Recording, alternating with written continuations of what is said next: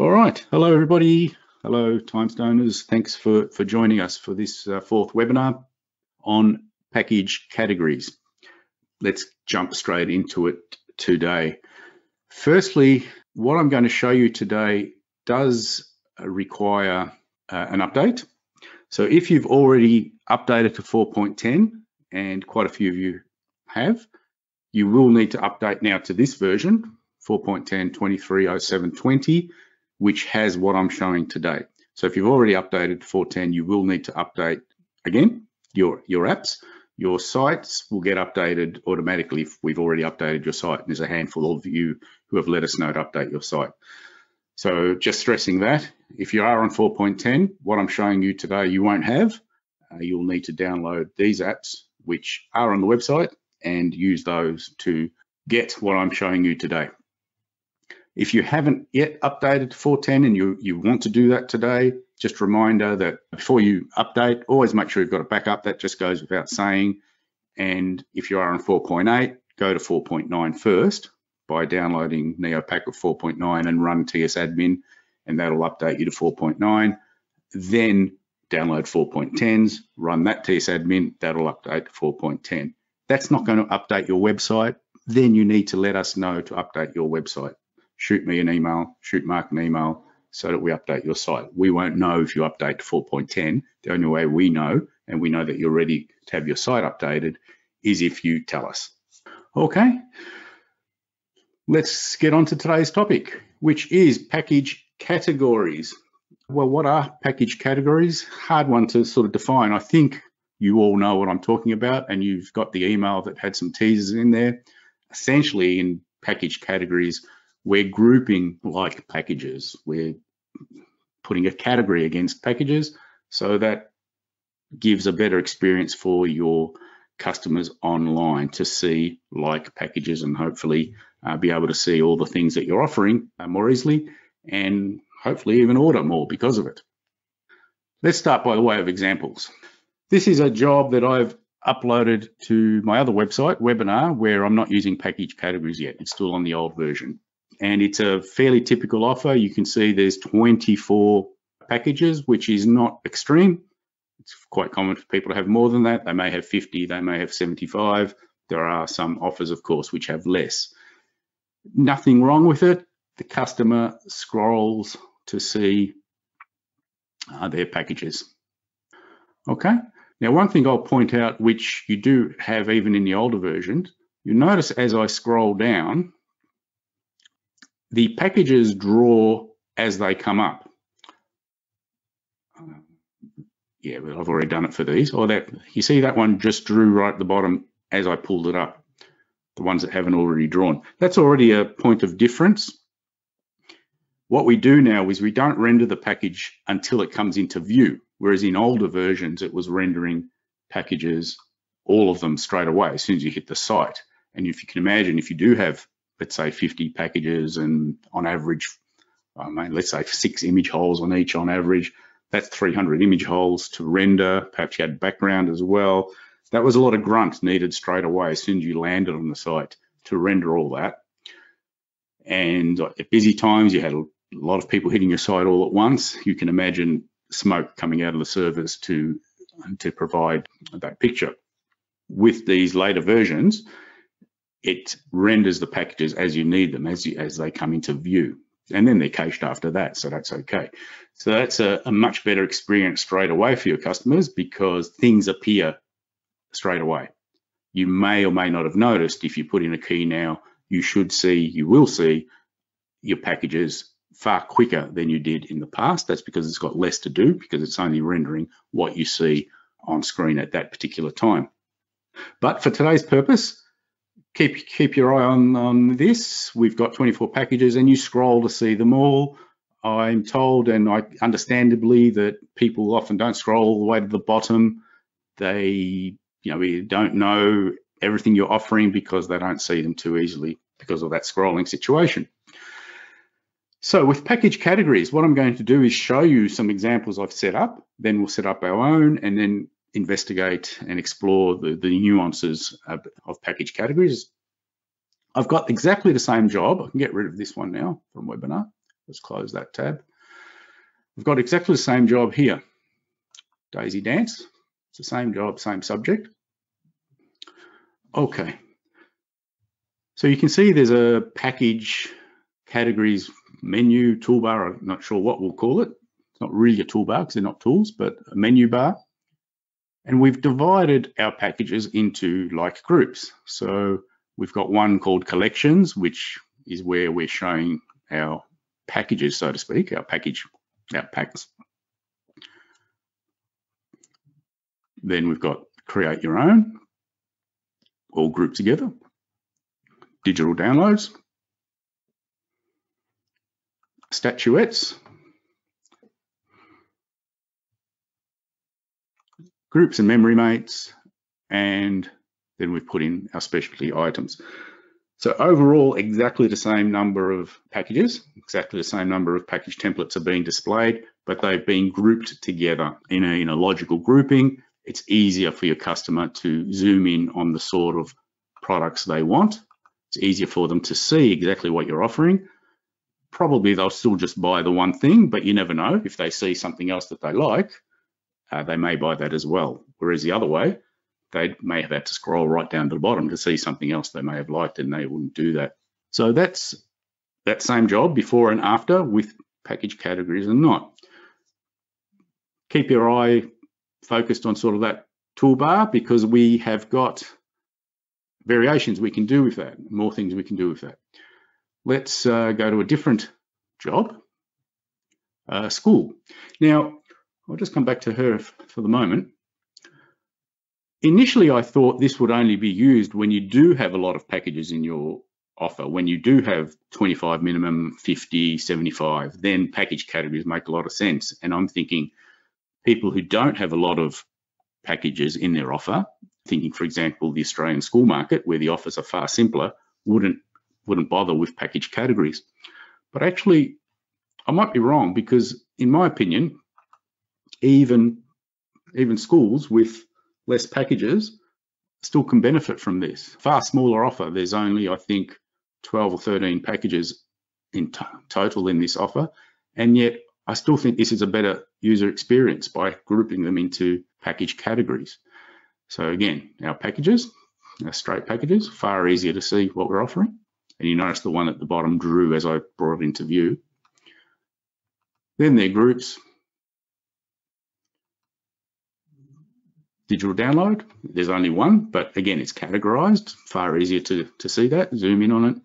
And we've got some add-ons as well. So I think it works even with smaller offers, not just bigger offers, the concept of package categories. You'll see also there, we've begun stylizing those buttons a little bit. Very simply, they are now italicized, whereas in the previous example, they were just straight up and down text. Let's jump further with that idea and go to an example that I'm particularly proud of. I like this one. Okay, so here we've now got colored buttons. Colored buttons and that to me looks really nice. It's immediately brightened up the site from all the, the grays that are there. So it's made the whole site more colorful, far more categories here. So there is a scroll when they when you have lots of categories and they don't all fit in that area, you have scroll bars. And again, the packages are categorized into logical groupings. And what's really nice is the packages themselves, the package templates are color coded to the buttons. I reckon that looks really hooky. Downloads, single sheets, memory mates, trader cards, and swappers. So all I like the fact that the packages are color coded to the buttons. That's uh, my little idiosyncrasy there. Of course, I'm going to show you how we get to this, but for now I'm just whetting your appetite. I might just add something to the cart while I'm here. Go to the cart. Categories are also available in the cart. So as your, your bonus, your extras, your cart extras. Uh, here are statuettes, this time as cart extras, color coded, and specialty items. Categories are available for the cart as well as the shop. I will empty the cart so I don't forget. and go back. Then I also unleashed Mark to make some buttons and he took it a bit further and used more HTML and CSS and came up with this lot, which are also pretty cool.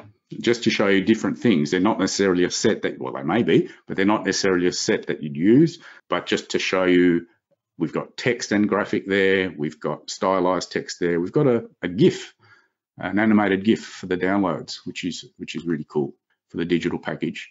You can even get emojis in there if you, if you feel like it greeting cards. So that's taking the buttons themselves a little bit further. And I think, again, making your site look nicer.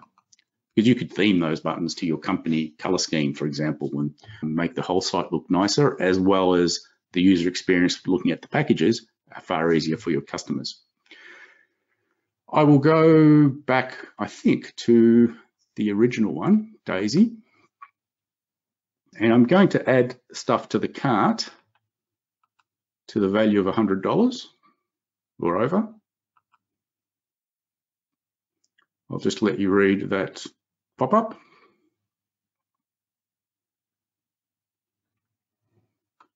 And then underneath there, that button now appears. The hot deals category has now appeared because we have put $100 of product into the cart. And when we go in there, there's our hot deals your hot deals will be a lot nicer than mine, I'm sure. What I'm showing you here is that categories can even be conditional. The appearance of this hot deals category was conditional on someone putting $100 worth of product in the cart. It wasn't there otherwise.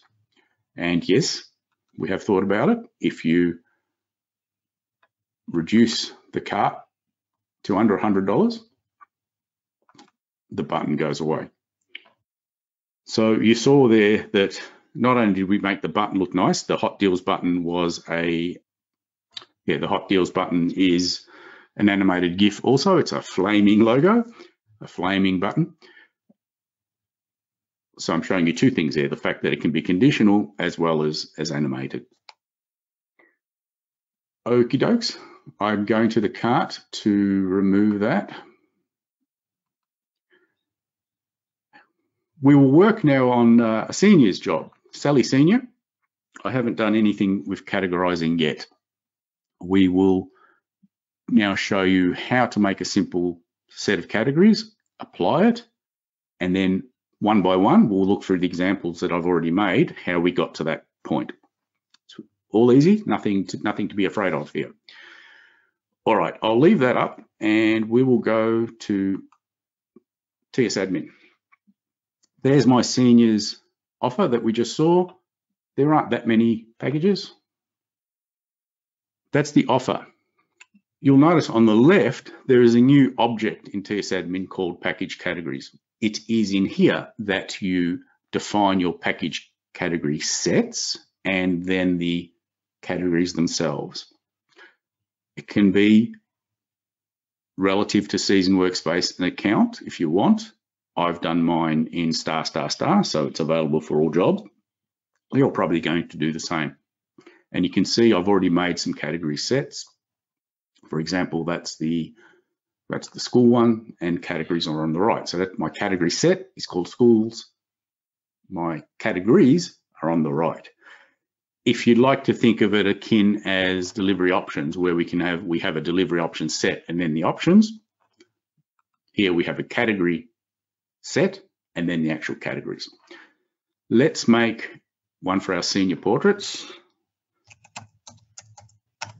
We just make a set, whatever you want to call it, call it anything you like. Your customer is never going to see the set name, that's irrelevant. So we make the set, and then we come over and add the categories.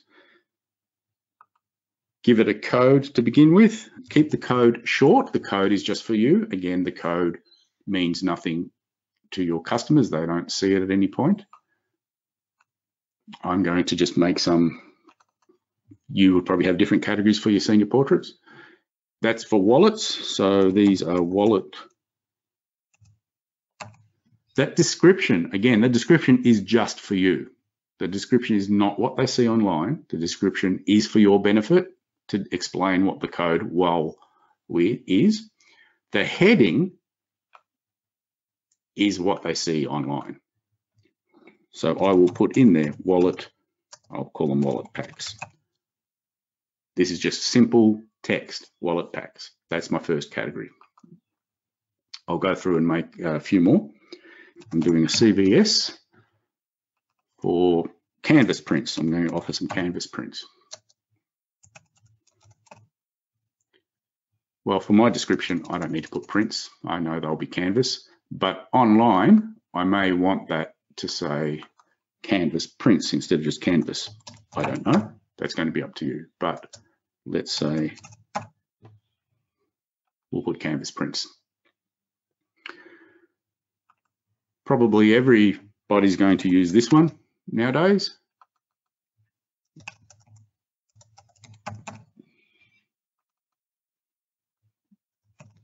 The heading is what they see online,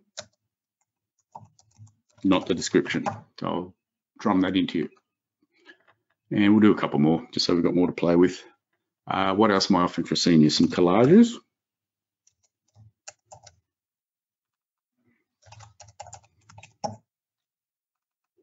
And collages.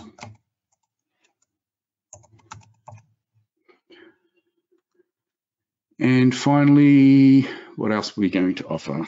What about these? Just some single prints.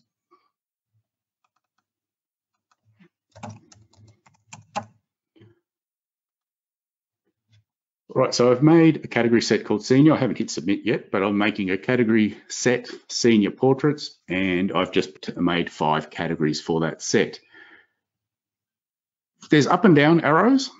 That's important because the order that you see them here is the order that they will appear online, assuming you're going to use all five. So the wallets will be the first one, first left, then the canvas, then downloads and collages, that sing then singles. If you want to change that order, you use the arrows, okay? And so the, the order is how they appear from left to right. Number one is on the left, the last one will be the last one on the right. So now I've made my set. Hit submit changes. Let's go to the offer and assign the actual categories to the packages. My seniors offer and my 13 or so packages. Something new across the top, category set. You can choose any of your sets that you've defined. We just made the senior one, so I'm going to choose that. Again, this means nothing to your customer. It doesn't get uploaded. They will never see the set name. This is for your benefit. What that does is when you come in here to select the category, you see them as a drop down. See, they're the options. They're the categories that are in my senior category set. Had I selected sports, for example, they're the categories that are in my sports set. So putting the setup there is not for the customers. It doesn't auto assign them to your packages. It just gives you the appropriate drop down menu so you know what you're doing. So I'll go through and put these in. Uh, let's see, that's a digital, dig, dig, what have we got next? These look like single prints.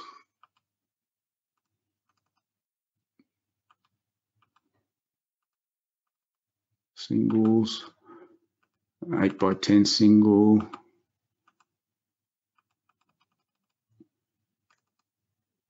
single and collage, yep, collage. Then canvas, some canvas prints. I don't know uh, how popular they are in other countries, but a lot of people doing canvas prints here. Now, here's something interesting. At the time we're doing this job, it's close to Mother's Day. And we've got, we want to offer some Mother's Day specials. I didn't have a Mother's Day category. I didn't have a Mother's Day category in that set that I made. However, we'll just submit those changes. We'll come back to it. Let's go back to package categories. I have already made a set called miscellaneous. And in there, I've start, I've just put in some categories that are miscellaneous.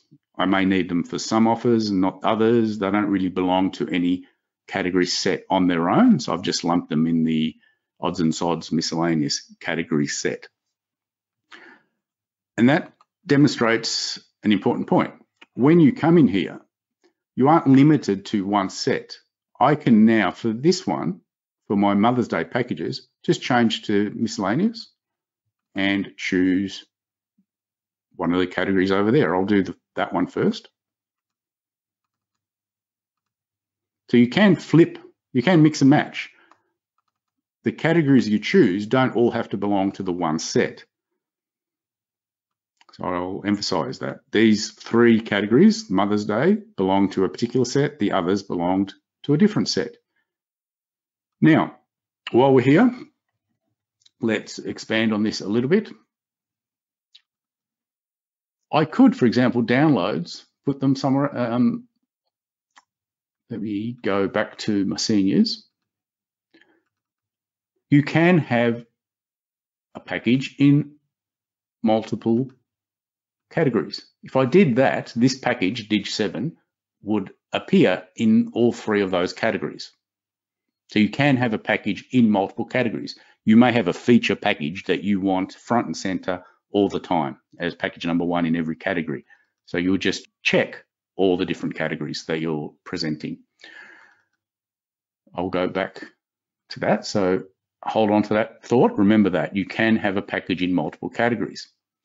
What about this? What about if I do that? What do you think would happen if I don't choose any category? Correct. For those of you who said it will appear in all categories, that's the correct answer, not it will appear in no categories. If you don't put any categories in there and you are using categories for your other packages, this package would just appear in all of them. So leave it blank, it will appear in all categories. Put multiple categories in there if you like, but leave it blank for all categories. Let's go back and put that one back in downloads. All right, and I'm going to hit submit. Now go to back to that job, but first I will need to refresh it, refresh the offer.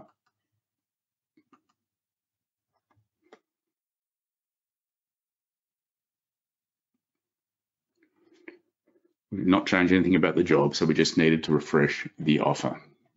And we'll go back to here. So you can see with that same job, that seniors job now has categories. Our Mother's Day specials are in their own category. Canvas prints, the digital downloads, the collages, and the singles. I just want to work on this one one more time to show you a variation, which will lead us into uh, the next step. I'm going back to TS admin, going back to this offer, and I'm going back to the Mother's Day because I had, you may have noticed,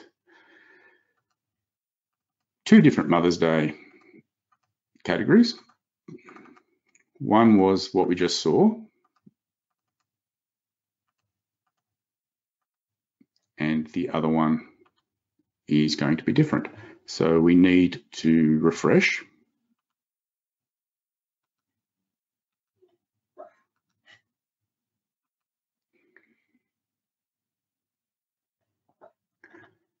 Go back to here, continue shopping, go back into her. So we, we replaced the Mother's Day text button with a graphic uh, visual button. And you notice because that one is higher, that's, I can't remember, 55 pixels or maybe even more. They do scale. The buttons do scale left and right, up and down.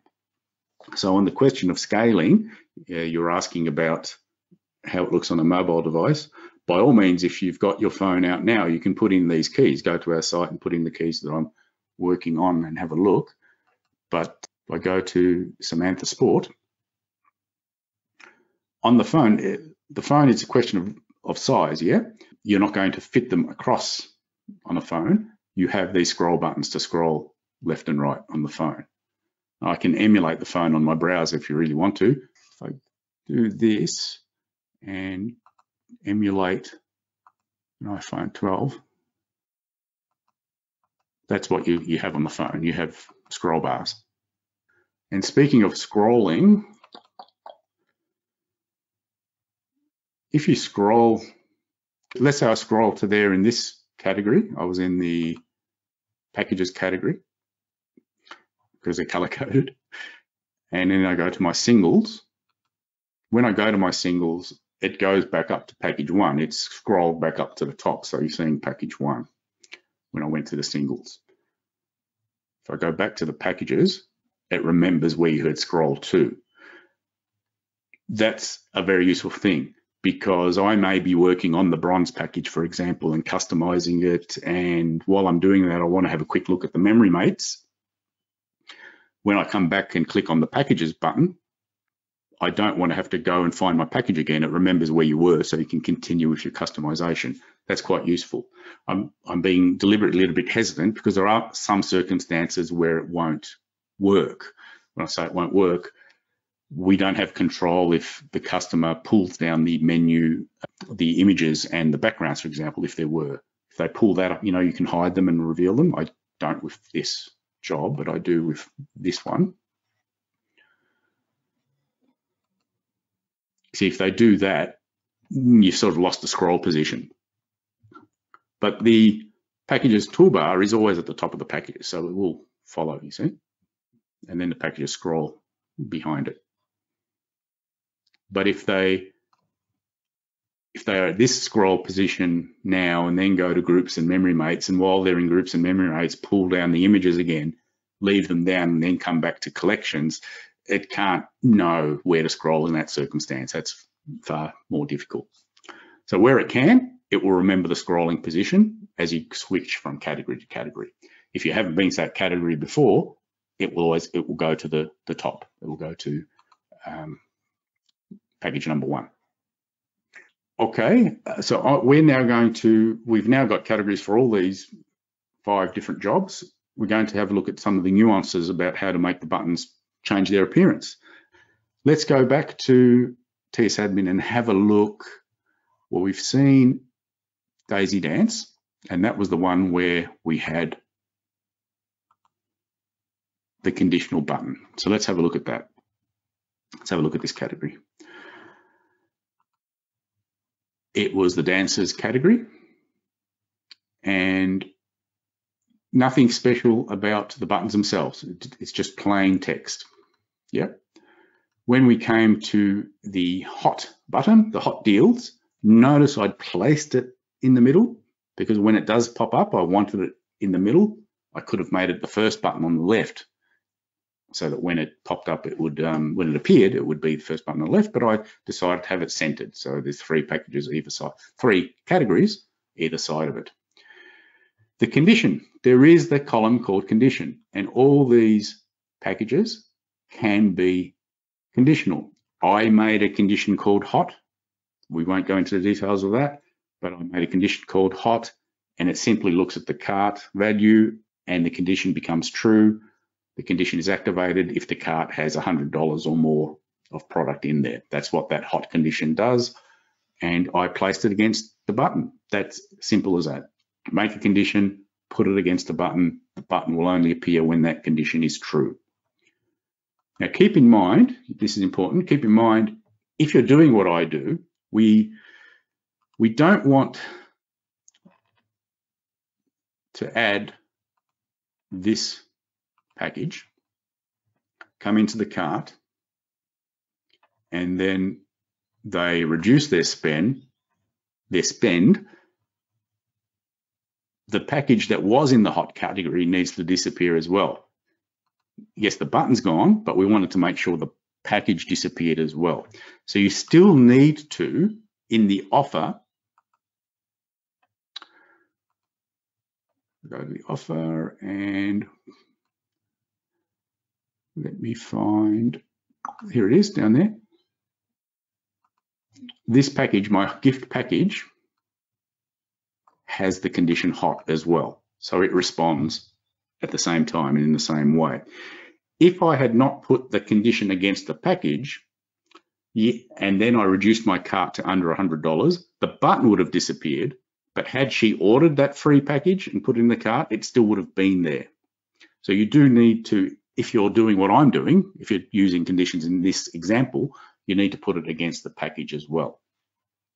Now you're entitled to ask, you're entitled to ask, would it not be possible that every package that is in the hot deals category disappears automatically if I've put a condition against the category itself? Could, could it not just automatically pass that condition onto the packages? That's very, very dangerous. And in fact, not possible, but it, I don't like, we don't like the fact that that would do that automatically. There, are, there is also the complication, as we saw earlier, that categories, a package can have multiple categories. And then the condition may be true in, in one circumstance, but not the other, and things would get all tangled up. So far simpler for you to take complete control of it. If you're putting a condition against the package category, put it against the package as well if you want it to disappear at the same time. Hope, I hope you got that and accept that. So that's how we got the package to be conditional we'll come back to the button itself. Let's have a look at the schools. This window, like the package description blurb, does take basic HTML. And this is how we got the schools category buttons to be italicized. So we go back to, to these buttons in the school. Oh, I don't need to empty the cart. These are all different jobs. Okay, so these buttons were italicized because I have used the HTML tag EM, emphasis. So people who know HTML, go for your life. You can stylize your buttons using HTML and you can change the color, make it bold. Now, don't be scared. For the people who don't know HTML, don't panic. We will give you some, some templates, some examples, and you can use them, modify them, change them. For the people who do know HTML who have got someone in their organization who does, you're probably rubbing your hands with glee because you can stylize the text in here with HTML. When we go back to the dancers one, the hot deals GIF that we saw, move it into the center and I'll enlarge that if I can grab it. There we go. Again, we've used HTML. We've used the image source HTML tag to call in the GIF. The GIF is called Hot Deals 3. I've uploaded it somewhere and I'm calling that in with an alternative and set the height there. That's how we got the sports buttons to be all nice. They were actually graphics. Same deal here. We go to sports. All these buttons that we saw in the sports were just different different JPEGs or different pings that I actually used an online service to make. And I've uploaded them somewhere and we're calling them in with the image source. Again, don't panic if you don't know HTML because we can give you the, the basic formula here and then you can modify it. Now, where do you upload them? You can give them to us and we store them on your server with your site. And that's what we do, for example, with your logo on your site. That's what we do if you give us graphics that you want in snippets, for example, we can store them on the site, on the server with your other graphics. We can do the same with here, and then you call them, call them up. So, you know, we would replace that with acmephotography.com, for example, if that's your site if you already have your own location that you can upload to, a lot of you do, some of you have got your own websites that you control, you, are uploading them to your company site, for example, rather than have to wait for us to upload them for you, rather than send them to us, wherever, wherever you're going to store these online, you can call them in. So the point I'm making here is that these buttons, this, this window can take in HTML, and that's how we ended up getting all these. They are just different PNGs that I've uploaded and I'm calling them in with that little bit of HTML.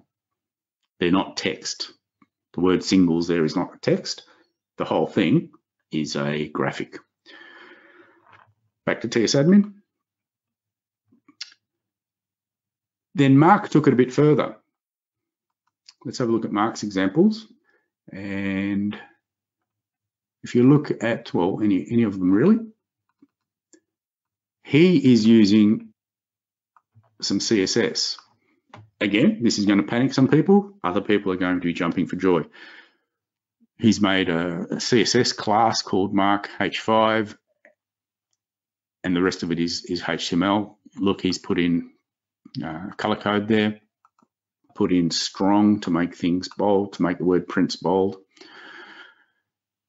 But the, the CSS, what do you do? This window itself does not accept what I'm going to, I'm getting all nerdy and technical here, does not accept inline CSS.